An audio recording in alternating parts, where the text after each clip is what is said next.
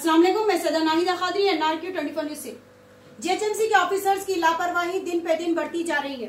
तलाबकट्टा भोईनर के रहने वाले छोटे मासूम बच्चे बार बार बीमार पड़ रहे हैं। बताया गया है कि कई दिन से वहाँ पर झाड़ू लगाने वाले लोग भी नहीं आ रहे हैं और वहाँ पर शाहजहां होटल के पास जो कचरा कुंडी है, भवाई नगर, रेलवे ट्रैक के पास की कचरा कुंडी नशमन नगर के पास की कचरा कुंडी और भी कई एरियो में जो कचरा कुंडी है, उन कचरा कुंडियों की सफ़ाई भी नहीं की गई है। इन तमाम बातों को देखते हुए वहाँ की आवाम ने याकुबरे के एमएलए जनाब अहमद पाशा खादरी को कॉल कर वहाँ पर बुलवाया।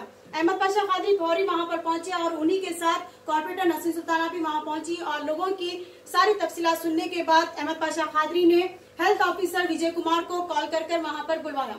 विजय कुमार वहाँ पर पहुँचने के बाद अहमद पाशा खादरी ने विजय कुमार से ताकीद की कि जल्द से जल्द यहाँ की सफ़ाई करवाई जाए। विजय कुमार ने तो कह दिया कि आधे घंटे के अंदर ही वो वहाँ की सफ़ाई करवा देंगे, लेकिन इसके बावजूद भी कोई एक्शन नहीं किया गया। इन तमाम बातों से बात साफ़ ज़ाहिर होती है कि जीएचएमसी के ऑफिसर्स इन बातों पर बहुत ज़्यादा लापरवाही बरत रहे हैं। हुकूमत को चाहिए कि ऐसे जीएचएमसी ऑफिसर्स को फौरी सस्पेंड कर कर इनकी जगह पे नए ऑफिसर्स को फौरी वहाँ पर रखना चाहिए ताकि वो काम जल्द से जल्द एक्शन ले सके। और इसी तरह हम आपको एक बात ये भी बताना चाहते हैं कि इससे पहले भी हमारे ट्वेंटी फोर न्यूज़ के ज़रिए भवाई नगर तालाब कट्टे के रहने वाले छोटे मासूम बच्चे बीमार पड़ रहे थे, इस बात की न्यूज़ बताई गई थी। वहाँ के रहने वाले छोटे मासूम बच्चे बार बार बीमार पड़ रहे हैं। उसके बाद वहाँ पर एक्शन लिया गया और वहाँ की सफ़ाई भी की गई थी। लेकिन उसके बाद से फिर वहाँ पर उसी तरह की लापरवाही बढ़ती गई। देखते हैं इस बार हुकूमत इस बात पर क्या एक्शन लेती है। इसी की एक रिपोर्ट आप देख सकते हैं। मिला के मैं आज तलाश करके में चार पंद्रह दिन से झाड़ू नहीं कर नहीं होने की शिकायत की लोगों ने मेरे कारपेट उनको भी शिकायत की सुनी मुझे भी शिकायत की और यहाँ पर आके दौरा करके सैनिटेशन के ऑफिसरों को बुला के एम डॉक्टर विजय कुमार को बुलाया कमिश्नर बलिया से बात किया कि आठ आठ दिन छः छः दिन तक सफ़ाई नहीं हुई है कचरा पड़ा हुआ है कमिश्नर से बताया कि आपके बड़े बड़े बयान आ रहे हैं जहाँ भी कचरा रहेंगे वहाँ लोगों को चालान करेंगे। पब्लिक को धमकियाँ दे रहे हैं जबकि आपके पास कुछ सैनिटेशन का स्टाफ नहीं है। तो ऐसे बयान बिल्कुल गलत है। पहले स्टाफ को भर्ती करो। आज कई लोग हैं कई सीटें हैं जो सैनिटेशन में कामाटी के पोस्टों पे खाली है। या फिर है फिलअप है तो वाइट कॉलरों को रखिए आप तो सफ़ाई वफाई नहीं हो रही उससे, उनके लोगों की एम को बातें की उनको बताया कि आज का दिन तालाब कट्टे में पूरी सफ़ाई करो। आप कहीं से भी लेबर को बुलाते हो, आधे घंटे का टाइम बने आज बुला के पूरी सफ़ाई का काम करेंगे और गार्बेज जितने भी रहेंगे, उसकी लिफ्टिंग का भी काम करेंगे। उसके बाद उन्होंने वादा किया कि एक दिन पाबंदी से यहाँ पर गार्बेज की लिफ्टिंग होगी और रोज़ाना झाड़ू होंगी। उससे हटके भी दीगर मसाइल है। गुत्तेदारा दस दस कामा ले लेके कई महीनों से रखे हुए काम शुरू नहीं कर रहे। कमिश्नर बलिया को दाना किशोर साहब को उससे जुड़ा कर ऐसे गुत्तेदारों को ब्लैक लिस्ट करने के लिए बताया।